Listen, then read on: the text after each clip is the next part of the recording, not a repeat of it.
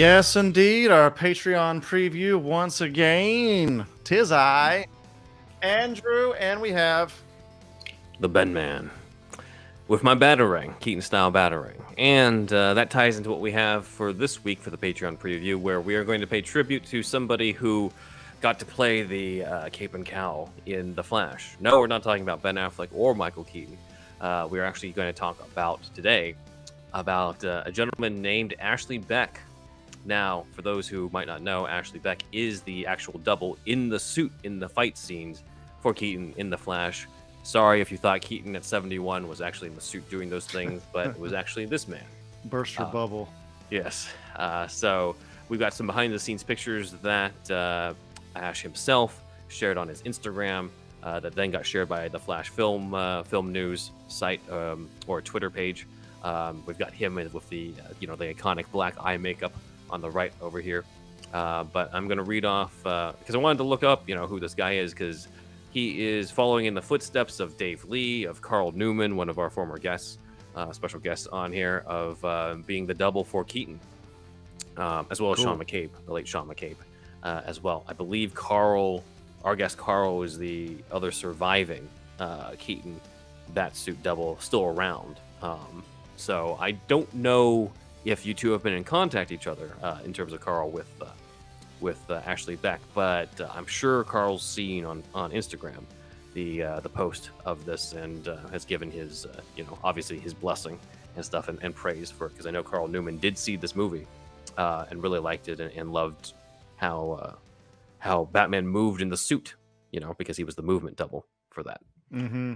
So Ash is has two decades of experience in martial arts, specifically started training at the age of four in 1986 in kickboxing, um, and has mastered quote unquote various styles, has a fifth degree black belt in freestyle kickboxing, is great in capoeira, taekwondo, Shotokan, uh, Wado, Wado Ryu. I've never Wado, heard of this. Wado Ryu is a type of karate. Ah, got it. Okay. Yeah. Uh, Aikido and gymnastics. Um, He's not a black belt in all those, right? He's just studied them all a little bit. Uh, I don't know. I, I don't know. It just says it, it says he's specifically fifth degree black belt in kickboxing, which makes sense if he started, you know, when he was four. Yeah, yeah. So it's possibility he is black belt in all the others. He's just not fifth degree. Okay, that's a lot. That's a lot of black belts. this guy's no slouch. I wouldn't want to get into a fight with him anyway. Is he's Uh, British? Yes, he's British. Um, Okay, yeah. he is a full-time instructor, according to his IMDb bio, uh, at the British Martial Arts Academy in Sheffield. Um, okay. And achieved cool. the uh, WAKO World Musical Weapons Champion in the Ukraine in 2003. So, uh, okay, uh, definitely an accomplished uh, martial artist. Uh, he was also the double for Keaton in the kitchen fight. So you see him with the beard and the uh, the ascot and the long hair here. That's Always awesome. Pretty cool. Yeah. Uh, and then I would presume this is, you know, his partner and kid, but I don't know. Uh, on the right, but uh, these are just from you know, don't want to assume if he's watching this that that's uh, you know his girlfriend or wife or somebody. But um, we've got another shot here in the full get up in the bat suit, uh, as well as another shot with him without the cowl and without the chest piece uh, for that. So uh, all really cool, and uh, the shot as well. And then finally him out into uh, in the snow of Siberia in the bat suit. Mm. So awesome stuff uh, as well. So this is Ashley Beck. Uh, you can follow uh, Ashley Beck on Instagram uh, at uh, I believe it's hold on, let me just make sure it is. I've got this right. Yeah, Ashley Beck official. Uh, and maybe he'll shot some other photos. I'd love to see more. I'm sure he's got a lot of more photos of this stuff, but um, I saw today, the day that we recorded this, the Flash is now out on digital, and so now I could actually rewatch certain scenes. And of course, the first thing I wanted to rewatch was the fight in Siberia where he swoops down and kicks everyone oh, out, yeah, kicks everyone's asses. So got yeah. to kind of see this guy in action and stuff. And you know, the transition does feel pretty seamless between him and Keaton. I don't know if that's just because I don't know if they did any motion capture type stuff where they would like digitally put like Keaton's bottom half of face on him or something because you know how things are like these days with the technology and AI we got. But uh, it's it felt pretty seamless to me in the movie. Um, and again, I know some people were just like, there better be an explanation for how the 70 year old Batman can fight. And I'm just like, I don't give a fuck. Yeah, I give cares? no fucks at all. Who gives a fuck? Like it's? I don't want any explanation. And lo and behold, we didn't. What do you want? fucking A Batman. That's the explanation. I bet- you want him to say a line like, uh, "I've been on TRT and drinking a lot of fruit." like, what what line do you want? What do I'm you sure want? these these are the same people who say this is not to make fun of uh one of our friends Alex who was the one who brought this up before he got sick of hearing it too but like this is a similar thing of people being like how does he know so much about the multiverse I'm like, it's like guys come on This is not not too much of an issue here. it's not too much of an issue I, I don't know if we brought this up either in all the different episodes of the Flash but I do I've brought this up to you offline, but apparently one of the other things people have brought up is like, how did Kara get killed by Zod's like blade thing? You know, like how did he how does the blade thing work? And I'm just like, don't you don't Kryptonian weapons work on Kryptonians? Yeah, that's Like- not an issue, man. That's the simplest explanation ever. Like I just Yeah, again, this is why they say lit- this is why they say literacy is dead because of this type of shit. well, uh, they don't teach them cursive anymore, so maybe this. yeah, that's the, that's got to be the reason. Anyway, Ashley Beck, I hope you're watching this and we salute you on this stuff. We salute you. Uh, yeah, uh, if you want to, you know, contact us, a superhero, superhousepod at gmail.com. Uh, we would love to be in contact with you. And uh, if you can come on the show, that'd be fucking sweet. Yep. Uh, we'd love to arrange that. I Uh, also know that on on the IMDb profile it says, sir, that you also doubled on Batgirl for Keaton. ooh, we, we- he will not tell us anything about that. We, I'll tell you right now, Mr. Beck, sir, we will avoid all those questions because we know your NDA is, Mhm. you know, word is bond. Uh, so uh, yeah, we'll just. I know you. I know you probably want to talk about that, Ben, but I don't think we're gonna. I'm just Not telling you right now. Mister. Tell you right now, Mister Beck. We will just talk about the Flash and your we'll talk about the martial arts stuff too. your approach to the martial arts, your approach to the movement in the suit, uh, Mhm. and things like that. So uh, we would love to talk about that. And we we do we have heard from I remember the Batchlers said they wrote Batman Forever. Uh, they said that whenever they were talking to their Batman stuntman, they were like, that guy was like, I'm Batman. the Yep. other guys are just Bruce Wayne. I'm Batman because they're the Batman doing the action. Mhm. So we would ask you, like, is that how you felt being your Batman? You know what I mean? So uh, and things like that. So yeah, I'm sure he did. I'm sure he did. yeah. Uh, so yeah. Uh, on top of that, we have some more concept art. Again, more concept art keeps coming out of the woodwork uh, for this movie. Another design of the Bat Cycle, This is like steampunk.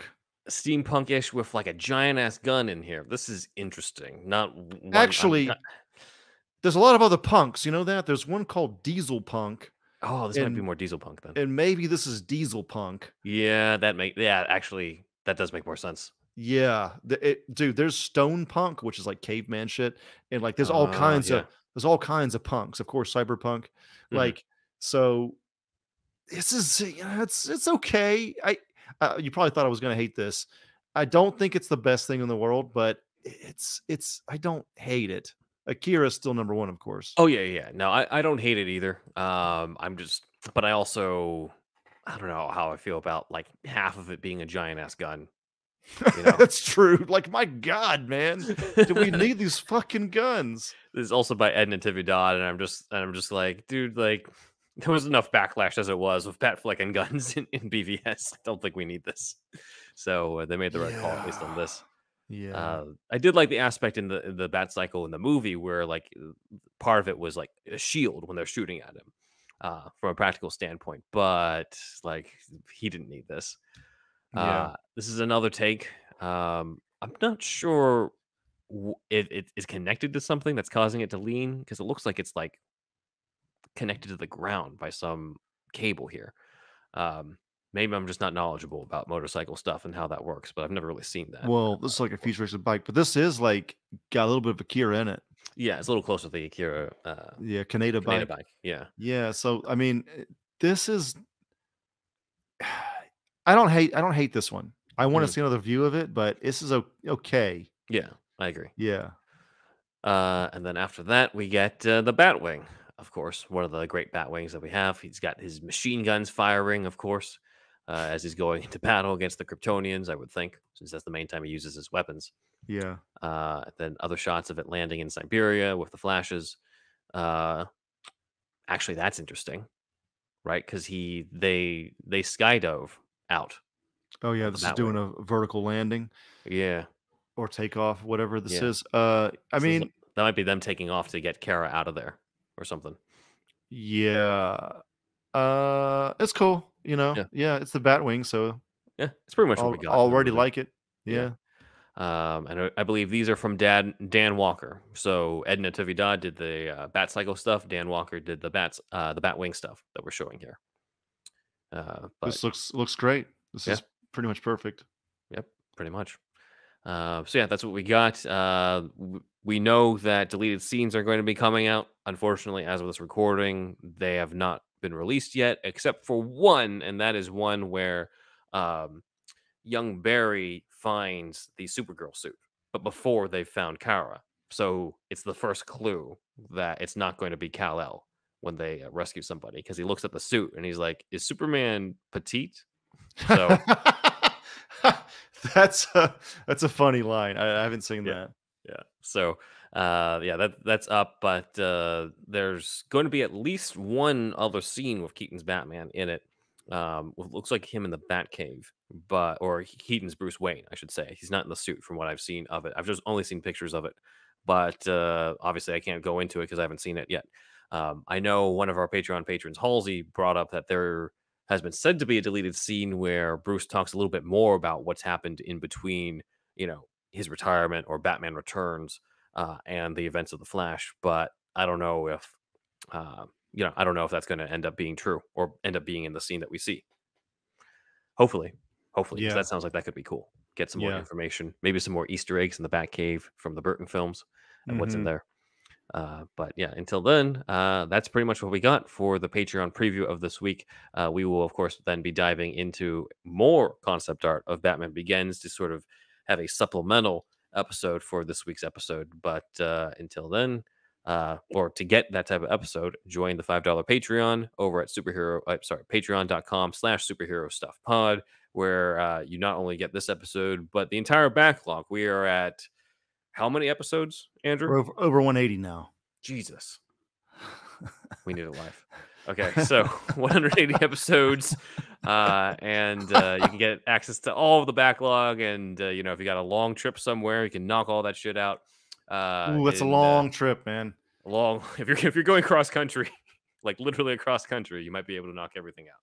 Oh my god! Uh, so there is some. It'll be interesting too uh, to hear from some of you guys on the backlog stuff because of the fact that sometimes we cover news stuff that obviously is not going to be news uh, at that time or our predictions about things that may or may not end up being true. Sometimes, sometimes we're way off, but sometimes we like we predict we predict shit. Like who knew about this Akira bike until we got to it.